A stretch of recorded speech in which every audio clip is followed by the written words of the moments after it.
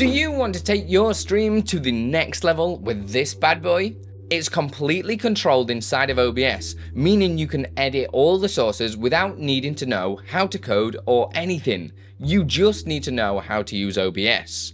I'm going to walk you through installing it and troubleshooting steps if you have any issues at all. Did I mention it is completely free too? Let's get into it. Put your rock in for the stone. Heyo, duckies! Andilippi here. Uh, there are a few important things I should mention. This product and the other StreamUp products only support OBS 28 and above. If you haven't upgraded yet, I'll leave a video up here and in the description on how you can upgrade without any issues. Trust me, it's easy. You will also need to have either SAMMI or StreamerBot as these are the only tools we are supporting right now. It goes without saying, these should be all up to date too. Jump into our StreamUp website to download the product, hit download, then it will take you over to our Ko-fi page. We would love it if you considered putting in a dollar or so as it will go a long way in supporting us making these incredible products for you. If you cannot afford a dollar, you can just put in a big fat zero in the box, then proceed to download the product for free. The first thing we need to do is install everything that's in folder 1 just here and we've got the San Francisco font so double click into that it'll open it up on your web browser, scroll down and go to download. Just get it all installed. It's pretty simple to do. And then we're gonna open up the StreamUp plug installer.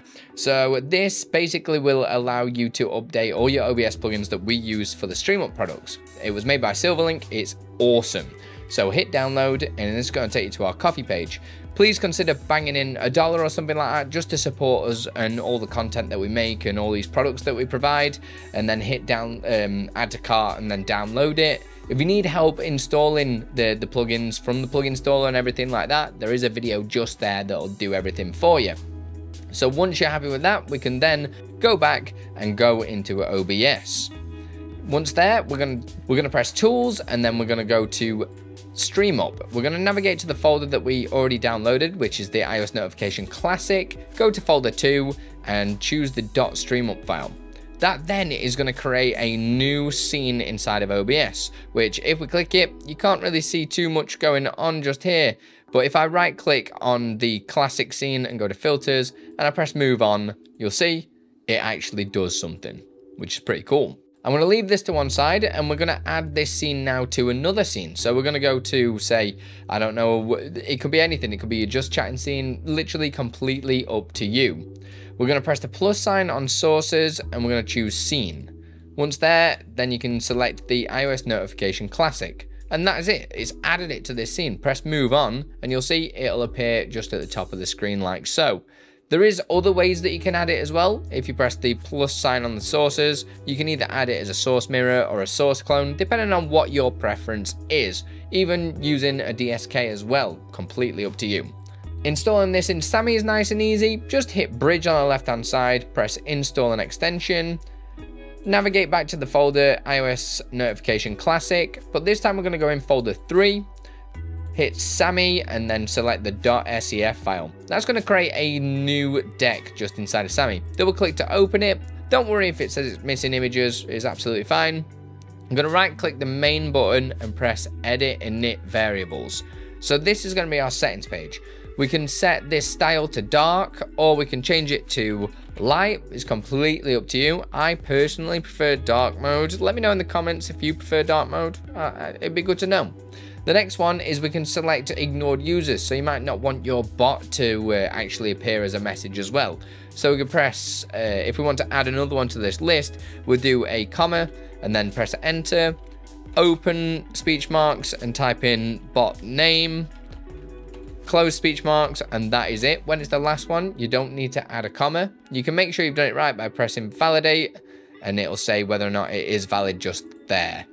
So I just hit save and then press save again, like so. And then now when I go back to OBS and just do my first message, hello there, you'll see it'll say hello there, which is a really nice little addition for to welcome people into your stream. Installing this into StreamerBot is nice and simple too. We just need to move StreamerBot to one side. We're going to be using the import function, but to do that, we need to navigate to the folder in our file browser.